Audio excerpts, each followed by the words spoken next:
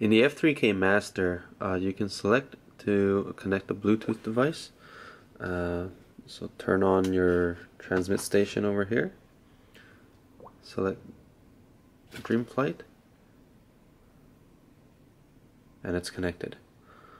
So now you can proceed to turn on any of your stopwatches and it should be in sync with the F3K Master.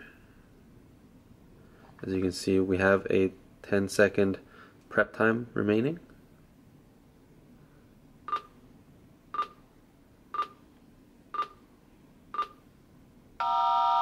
And we have a 15 second 12, test time. 11, 10, 9, 8, 7, 6, 5, 4, 3, 2, 1.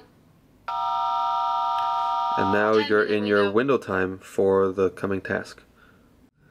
Now right now I have my stopwatch configured with the left button uh, for start and stop. So I can go ahead and start. And then as soon as your pilot catches the plane, just stop it and start it again once he launches. Uh, so it's incredibly quick for quick turnarounds. You can keep your eye on the clock and on the plane. Uh, you don't have to worry about uh, remembering the times or clearing it. Uh, so the last flight, it's right over here on flight number one. And we can go ahead and stop this flight and start again. And you can see flight number two is over here.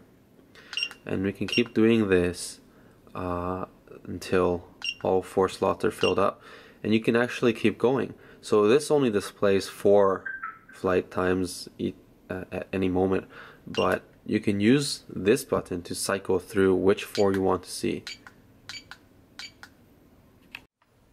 Now what do you do when you want to clear all your flight times? Very, very simple. Just turn it off and turn it on again and everything's reset.